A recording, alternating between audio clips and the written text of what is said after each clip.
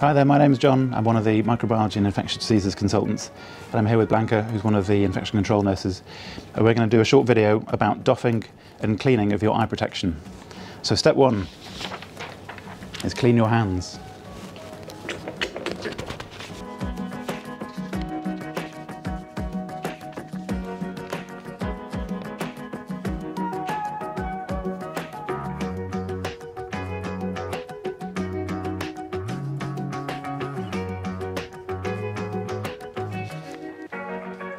Step two is remove the eye protection.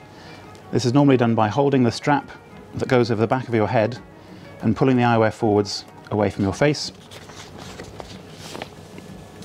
Step three is cleaning the eye protection. So this is relevant if you're using goggles or wraparound glasses. So first, wipe the goggles or glasses with a yellow Clinell wipe. Normally starting at the front, which is the most contaminated area, and then working around the sides, and then the back.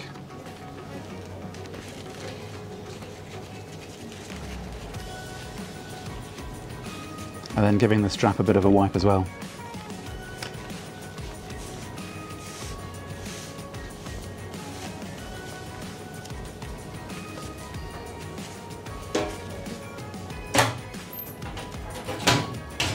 And then dry the goggles or glasses with a paper towel.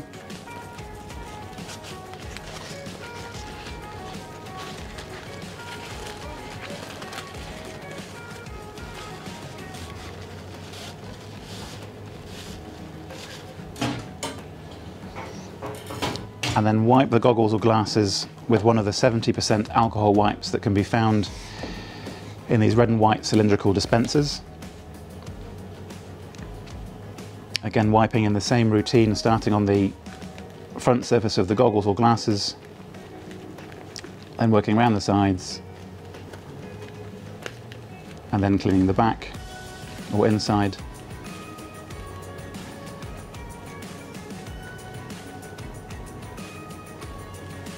And then cleaning the strap.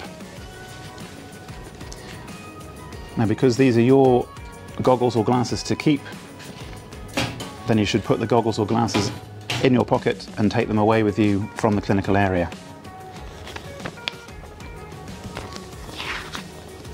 If you're, if you're wearing visor eye protection, for example on uh, 6A or the COVID ITUs or the in theatre, um, then these need to be cleaned by depositing the visors into a bucket of chlorine disinfectant such as chlorine. This will mean that the visor has to be removed uh, and dried and then moved to a clean place by another, another member of staff.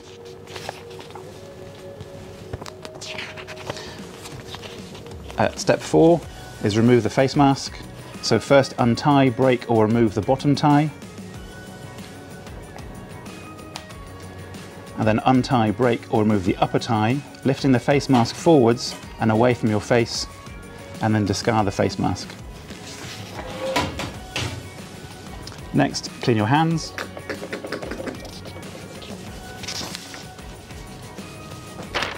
Great job.